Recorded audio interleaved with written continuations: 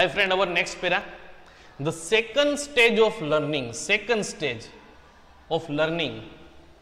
એવું કે છે કે વોઝ મોર ડિફિકલ્ટ થોડું વધારે ડિફિકલ્ટ હતું એટલે એમ કે છે કે ફર્સ્ટ સ્ટેજ હશે ને તમને જે આપેલું હશે એના કરતાં સેકન્ડ સ્ટેજ છે એની કમ્પેરેટિવલીમાં more difficult it was also based એ પણ ફર્સ્ટ સ્ટેપમાં જે પ્રમાણે હતું એ પ્રમાણે ઓલ્સો આપ્યું મતલબ ફર્સ્ટ સ્ટેપમાં એવું કંઈક હશે કેવું તો કે on the sense of touch second સ્ટેજમાં પણ સેન્સ ઓફ ટચનો યુઝ થતો હશે.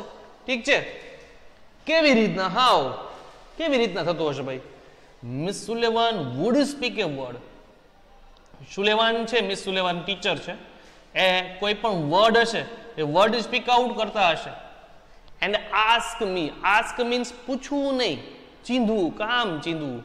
આસ્ક મી મી મીન્સ કે જે આ લખનાર હશે, જે આ પેરા લખનાર હશે, એટલે કે આપણે યુનિટમાં આપણે જોઈ ગયા છીએ I love you ટીચરમાં Helen. Helen Keller. Ask me means વુ Helen. શું કહેતા હેલનને? ટુ ટચ હર લિપ્સ આ પેલી વાત.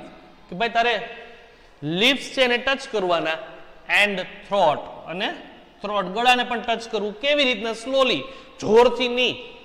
ચાલો ભાઈ હોઠ અને ગળું બે દબાવી દો એવું નહીં કરવાનું તો સામેનો માણસ ઉકલી જાય. હો ભાઈ, એમ નથી કરવાનું. એ સ્લોલી ટચ કરવાનું છે. આપણે શીખવાનું છે બોલતા. બરાબર? I learn it to speak through એમ કે છે કે હું બોલતા શીખી.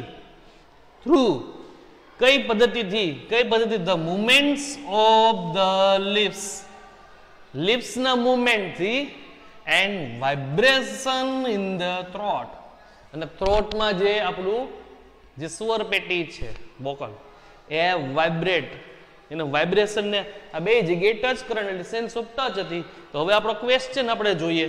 The second stage of learning was based on dot dot dot A dot dot dot ને શું કરવાનું? કમ્પ્લીટ કરશું. કેવી રીતના?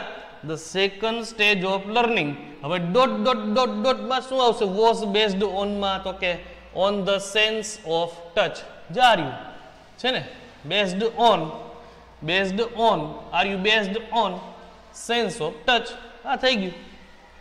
છે ને very easy how did Helen learn it speak Helen છે, એ કેવી રીતના બોલતા શીખી હશે?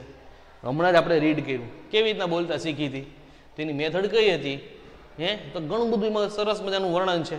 સારું જો Miss Sullivan would speak a word Miss Sullivan would speak a word and ask me me એટલે? અહીંયા મી આપેલું હતું. તમારે ત્યાં મીનું શું કરવાનું? તમે ડાયરેક્ટ ઇનડાયરેક્ટ તો શીખી ગયા છો ને. આપણને ખ્યાલ હોય કે અહીંયા મી એટલે આપણી વાત નથી. કે આપણને આપણને મિસ સુલેવન શીખવાડા નથી આવ્યા? કોને શીખવાડાવ્યા છે? હેલન કેલરને તો આપણે એના વિશે લખવાનું. તો આસ્ક હેલન અથવા તો her. To touch her lips and throat આ જે પેરામાંથી લીધું. એન્ડ ઇન ધીસ વે અને આ રીતના હેલન લર્ન ઇટ હેલન છે એ શીખી છે. આઈ લર્ન ઇટ એટલે કોણ લર્ન ઇટ આઈ એટલે Helen. Learn it to speak through the movements of the lips and the vibration in the throat જો છે કે નહીં? એકદમ સિમ્પલ છે.